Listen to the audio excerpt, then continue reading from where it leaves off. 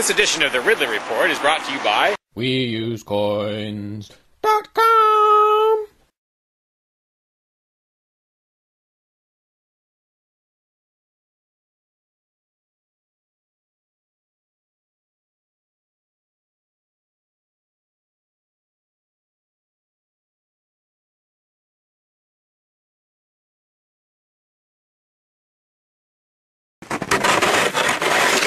When I was out there a couple years ago, I tried